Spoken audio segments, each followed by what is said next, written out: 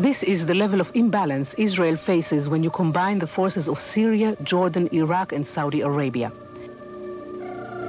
Manpower 4 to 1, artillery 7 to 1, tanks 3 to 1, and combat aircraft over 2 to 1. These countries in turn can seek support from the entire Arab League. The total stockpile of arms bought by Arab countries has cost $150 billion. The Arab countries are not only buying weapons in vast quantity, but of super quality from East and West.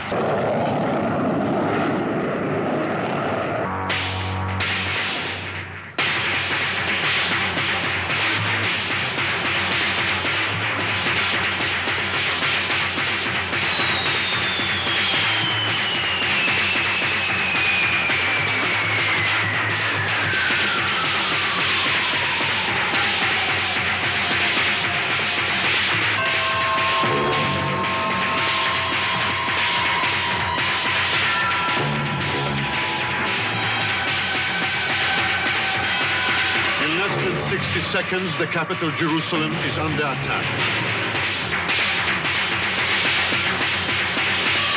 Forty seconds later, Ben Gurion Airport, our lifeline with the outside world.